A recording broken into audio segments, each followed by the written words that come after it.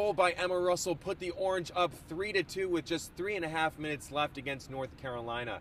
Syracuse goes on to win 4 to 2, scoring four goals in a row to take down second ranked Tar Heels. The penalty corner was especially important in today's game. I think we train a lot on the penalty corner. We have really good, skillful uh, attackers who get a lot of penalty corners, and then it's just a matter of practicing and focus on the on the top if we get them, and uh, just try the, the, best we can and work together to uh, get it in the goal. It doesn't matter how it needs to be in.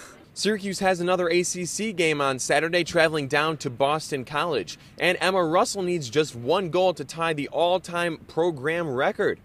Reporting from JS Coyne Stadium, Seth Quam, Citrus TV.